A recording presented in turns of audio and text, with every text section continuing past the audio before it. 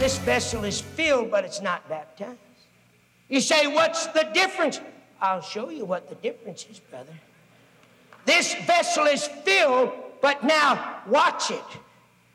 Now,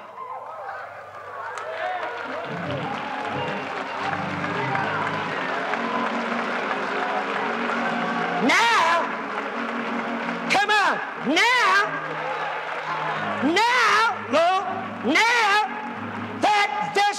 is what? For more information and inspiration from Morris Cerullo's seven decades of ministry, please visit 247victory.com.